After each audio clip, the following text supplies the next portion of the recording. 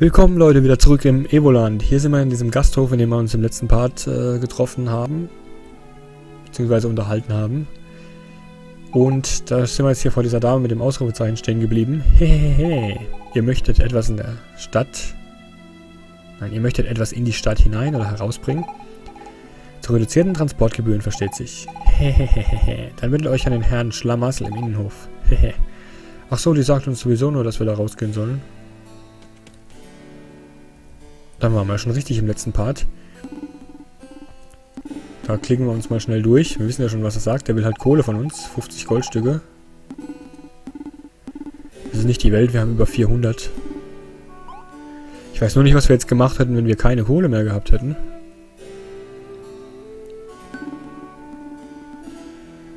Ich glaube, wir beide werden uns prächtig verstehen. Wie wäre es mit einer kleinen Kaution, um unsere Freundschaft zu besiegeln? Das sagen wir für den Anfang mal 440 sind das alle Goldstücke, die ich habe?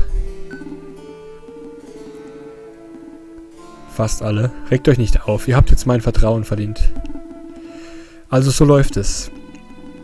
Ihr bringt mir weitere 150G und ich bringe euch hier raus. Will er mich verarschen? Oh, natürlich könnt ihr gerne ablehnen. Aber eure Kaution behalte ich dann, versteht sich.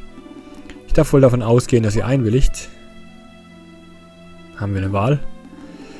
Ich schätze mal, ihr habt das Geld nicht, oder nicht mehr. Irre ich mich? Wenn ihr hier weg wollt, werdet ihr wohl dafür arbeiten müssen. Ich weiß, ein furchtbarer Gedanke. Ich versuche es selbst tunlichst, das zu vermeiden. Aber manchmal heiligt der Zweck eben die Mittel. Meine Assistentin im Gasthaus kann euch sicher ein paar Gelegenheitsjobs vermitteln. Dafür werdet ihr dort übernachten müssen. Ich weiß, es ist nicht gerade ein Fünf-Sterne-Hotel. Aber denkt nur an morgen, wenn ihr frei und meilenweit vom Kaiserreich entfernt seid. Viel Glück. Kuro, seid ihr sicher, dass das eine gute Idee ist? Super Mario, ich werde euch nie wieder die Verhandlung überlassen. Harte Worte, Menos. Obwohl Kuro ihm völlig auf den Leim gegangen ist. Aber er hat sein Bestes gegeben und das ist das Wichtigste.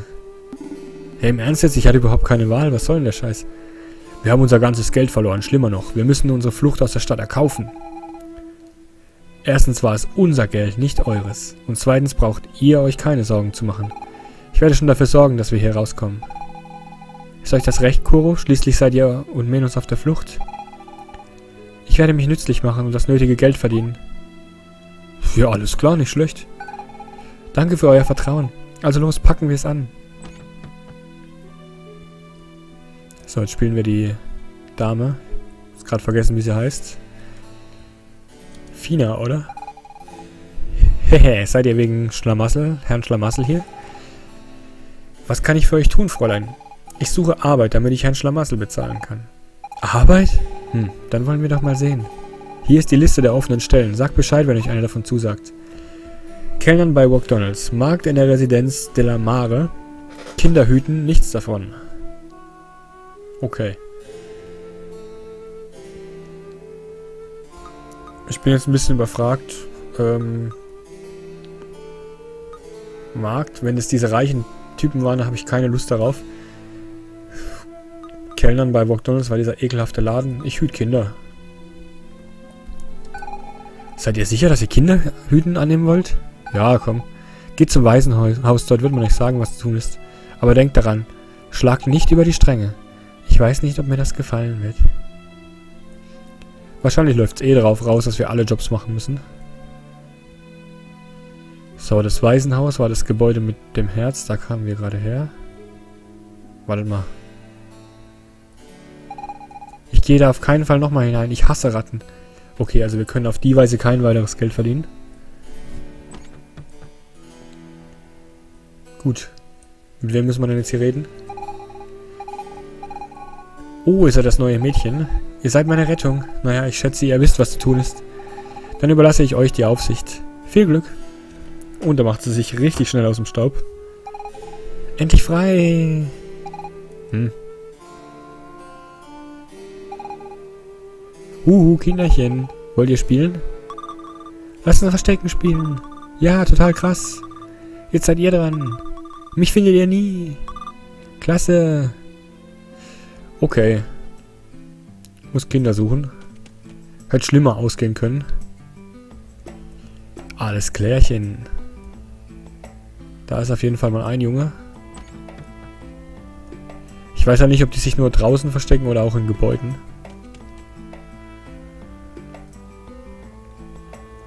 Holen wir doch gleich mal den Jungen. Achso, da kommen wir gar nicht rein. Ob die in die Kaserne rein dürfen, weiß ich jetzt gar nicht. Nee. Oh Mann, meine Nase ist so ein bisschen zu. Ich hoffe, man hört es nicht. Aber es fällt ein bisschen schwer beim Reden. So, hier ist auch niemand. Ist auch kein Ort für Kinder. Und die Musik spackt wieder. Juhu. Ach so, können wir eigentlich auch Geld suchen, ne? Einfach die Büsche abhacken. Ach, die Musik, die macht mich wahnsinnig.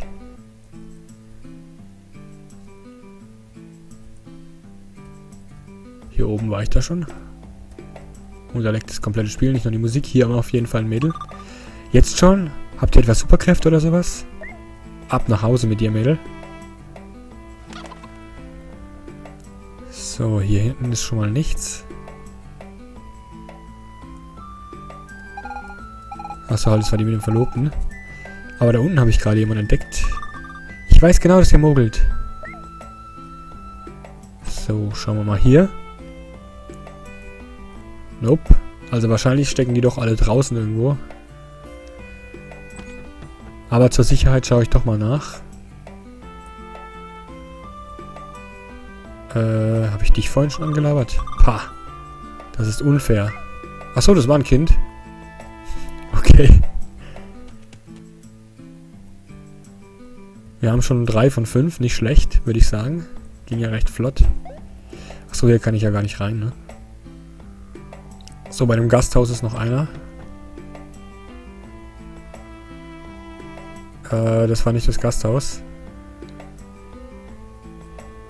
War hier noch ein Kind? Nee. Die drei waren vorhin schon da auf der Seite. Hier waren... Wer ist das? Achso, das war der andere Reiche. Ja, ich glaube, hier ist kein Kind reingeflüchtet.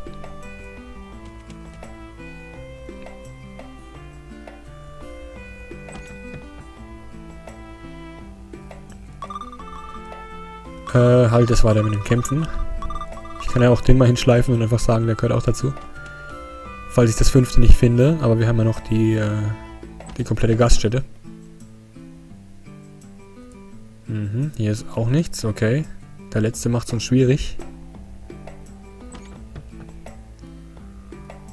Könnte ja auch sein, dass hier zwei drin sind. So, mein Freund. Erstmal dich. Ich weiß, das beste Versteck aller Zeiten. Einfach wegteleportiert. Hier mal rechts noch abchecken. Da war doch noch einer hier. Ihr habt das echt drauf, Fräulein. Ja, wir haben uns alle gefunden. Sehr schön, sehr schön. So, das Waisenhaus war hier, genau. Mein Orientierungssinn wird langsam besser von Spiel zu Spiel. Wenn das mal keine gute Arbeit war, hm? Ihr seid ja so cool. Dafür werdet ihr bezahlen. Kommt uns gerne jeden Tag besuchen. Ich muss mal. Nächstes Mal findet ihr mich nicht. Seid ihr in Ordnung? Wie ist es gelaufen? Entschuldigung, bisschen verschluckt. Sie haben sich doch hoffentlich benommen. Schon wieder. Aber ich muss sagen, ich habe sie vermisst. Hier, das ist für euch. 80 haben wir erhalten. Da müssen wir noch einen Job machen. Danke für eure Hilfe. Kommt gerne wieder. Ja, pf, wenn es solche easy Job, easy peasy Jobs sind, dann machen wir halt gerne noch welche. Oh, es ist schon Abend. Was für ein Tag. Höchste Zeit ins Gasthaus zurückzukehren. Kleinen Moment mal. Ich will hier was abchecken. Was denn noch hier so alles ist. Jetzt kann man nämlich hier rein. Was haben wir denn hier für Gestalten? Die kennen wir doch alle. Ein wirklich fesselndes Spiel. Ob ich besser aufhöre oder noch weiterspielen soll. Offenbar gibt es jede Menge Gewinnchancen. Aber warum nur so wenige Gewinner? Oh nein! Ich habe schon wieder meine ganzen Ersparnisse verspielt. Beim nächsten Mal habe ich mehr Glück. Ja, so geht es jedes Mal beim Glücksspiel. Fast hätte ich diesmal gewonnen. Fast bringt ihr aber gar nichts. Irgendwann gewinne ich doch. Und dann bin ich reich wie Madame de la Mare. Da bin ich sicher. Ihr wollt Werdet Millionär spielen? Das macht 10G. Ah gut, die geben wir mal aus. Ich will es mal testen zumindest. Ich will jetzt nicht so ein Glücksspiel-Junkie werden wie die da unten, aber wir hören uns mal die Regeln an. Ganz einfach, auf dem Tisch liegen neun Karten. Ihr müsst jeweils zwei davon gleichzeitig umdrehen, ohne dabei die Karte tot zu erwischen. Wie viel ihr gewinnt, richtet sich nach der Anzahl eurer umgedrehten Paare. Ihr dreht alle vier um. Bingo! Ihr gewinnt eine Million Goldmünzen. Wollt ihr die Regeln wissen? Ja? Achso. Waren ja schon die Regeln. Ich bin gerade, stand ich gerade ein bisschen am Schlauch. Das ist so ein bisschen wie... Wie heißt das? Oh. Fast hättet ihr es geschafft. Wie wäre es mit noch einem Spiel? Nö. Wir wollen unser Geld behalten. Äh, wie hier... Wie heißt denn das Spiel verflucht nochmal? Memory, genau. Memory. Stehe auf dem Schlauch hier. War hier noch nicht noch irgendwas, wo man abends mal vorbeikommen kann? Ich hab's vergessen. Gehen wir einfach mal zum Gasthaus jetzt und wir brauchen ja noch einen Job, ne? Das reicht ja noch nicht mit unserer Kohle. Verändert hat sich hier nicht viel.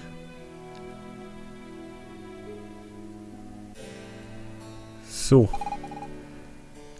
Heute Nacht hat sie keine Arbeit für uns. Ja, dann müssen wir jetzt pennen. Dann haben wir keine Wahl. So. Bleibt ihr? Ja. So. Haben wir zu dritt in dem gleichen Bett gepennt. Die Liste der offenen Stellen. Dann kellnern, kellnern wir noch beim McDonalds, weil bei der Dame möchte ich nicht arbeiten. Esst bloß nichts dort.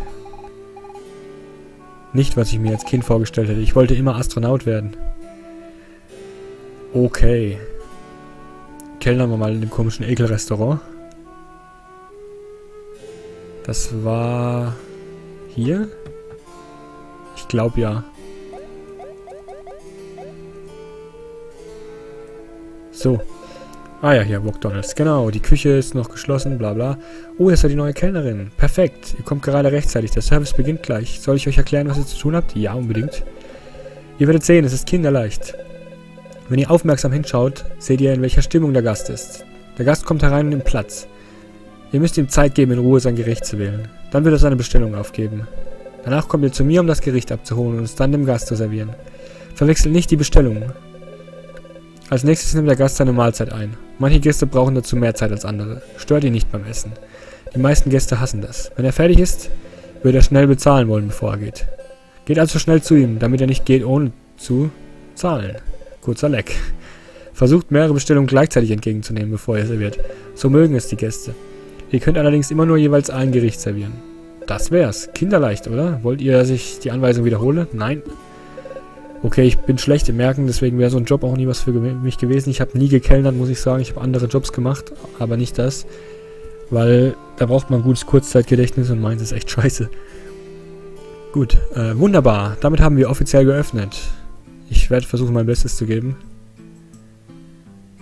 So, setz dich doch hier hin, bitte. Gut, was darf sein? Ach, sie wählt noch aus.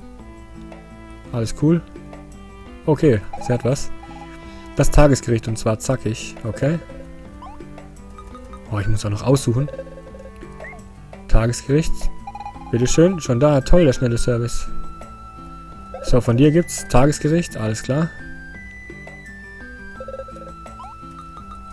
Machen wir das hier. Ist aber schnell zubereitet. Danke, das ging ja schnell. So. Ah, hier, die will bezahlen. Sehr schön. Köstlich, einfach toll. Muss ich das dem dann geben?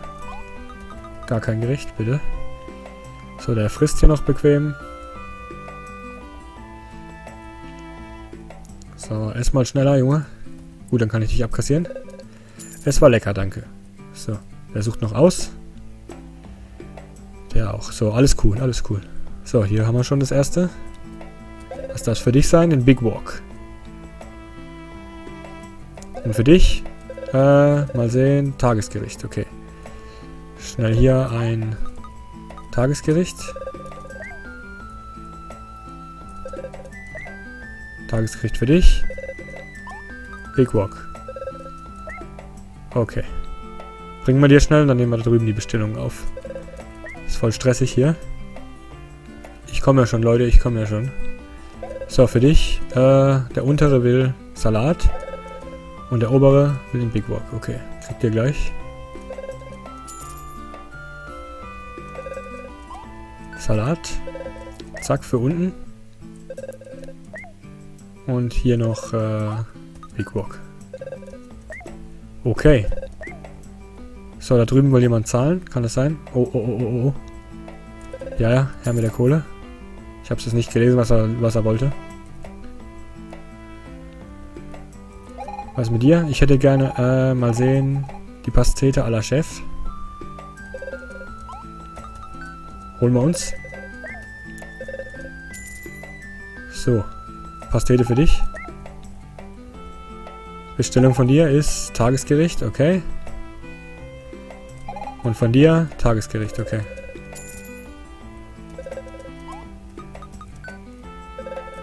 Ich komme jetzt gleich nicht mehr hinterher, das wird schon ein bisschen stressig.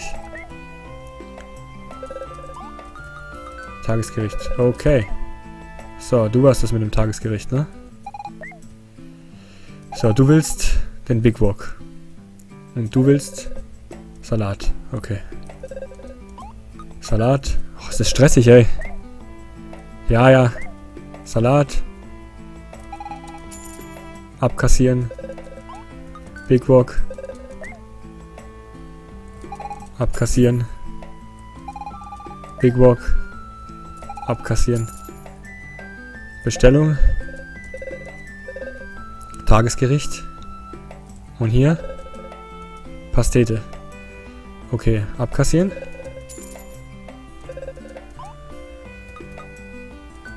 Pastete war jetzt hier oben, ne? Ich hab's schon wieder vergessen. Oh, shit, shit, shit, shit, shit.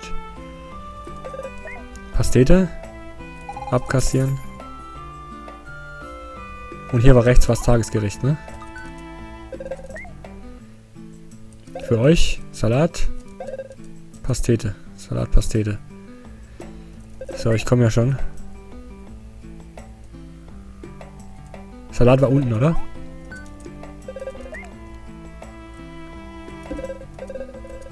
Scheiße. Der untere wollte die Pastete. Ah, man kann immer einen Fehler machen, oder? Bei so vielen Leuten. Hier, bitte. So, abkassieren. Service war schlampig. Was soll das jetzt? Ich habe mir noch Mühe gegeben. Die zwei essen noch und dann haben wir es auch geschafft. Der will direkt bezahlen. Hierhin komme ich garantiert nie mehr. Es war lecker, danke. Oh Mann, oh Mann. Haben wir es jetzt endlich geschafft.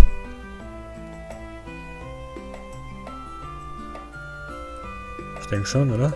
Gut, das war's für heute. Wir haben 15 Gäste bedient und niemand ist gegangen, ohne zu bezahlen. Das ist ja schon mal gut, ne?